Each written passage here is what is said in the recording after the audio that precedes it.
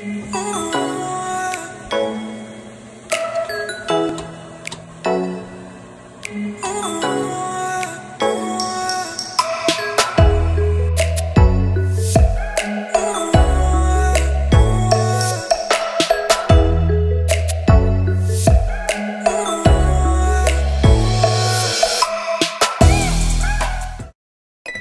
This is how my veggie lasagna turned out. It was absolutely delicious. That was my first time making it and it came out perfect.